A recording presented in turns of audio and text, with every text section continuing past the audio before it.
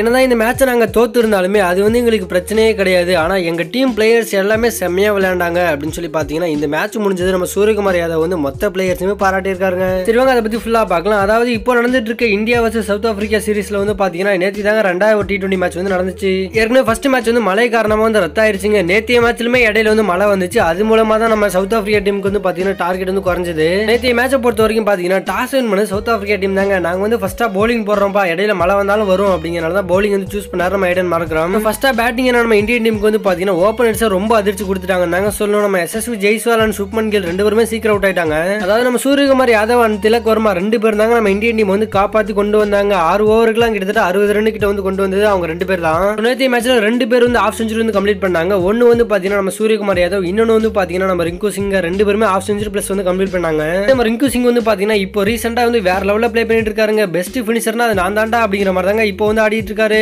ஐம்பது வருமா அப்படின்னு நினைச்சிட்டு இருக்கும் போது நம்ம ரிங்கு சிங்கோட அதிரடியால தான் நூத்தி எண்பது ரன் வரைக்கும் வந்துச்சு நம்ம இந்தியன் டீமுக்கு. கடைசி ஓவர் நம்ம ஜடேஜா வந்து அவுட் ஆயிட்டாருங்க. கடைசி மூணு பால் இருக்கும்போது மழை வந்த காரணமா வந்து பாத்தீங்கன்னா அந்த மேட்ச் வந்து அதோட விட்டுட்டாங்க.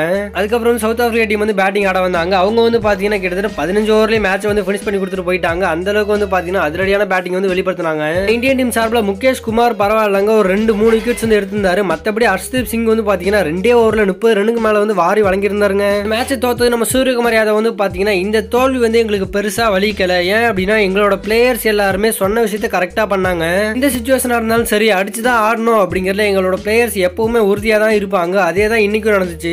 செகண்ட் இன்னிங்ஸ்க்கு முன்னாடி மழை வந்த காரணமா பந்து வந்து ரொம்ப ஈரமா இருந்துச்சு. அதனாலதான் எங்க பவுலர்ஸால கிரிப் பண்ண முடியல. இந்த தோல்வி வந்து எங்களுக்கு பெரிய விஷயம் கிடையாது. எங்களோட பிளேயர்ஸ் நல்லா ப்ளே பண்ணாங்களா அப்படிங்கிறது மட்டும்தான் எங்களை பொறுத்த வரைக்கும் ஒரு பெரிய விஷயமா இருக்கும். இந்த மேட்சை விடுங்க. அடுத்த மேட்சுக்காக நான் வந்து ரொம்ப ரொம்ப ஆவலா காத்திருக்கேன் அப்படின்னு சொல்லி பாத்தீங்க அப்படின்னா நம்ம சூரியகுமார் யாதவ் வந்து நேத்திய மேட்ச் முடிஞ்சதும் பேசியிருக்காருங்க. சரி ஓகே நேத்திய மேட்ச்சில் நம்ம இந்தியன் டீமை சேர்ந்த எந்த பிளேயர் வந்து செம்மையா ப்ளே பண்ணாரு அப்படிங்கிறத உங்களோட கருத்தை மறக்காம கீழே கமெண்ட்ல சொல்லுங்க.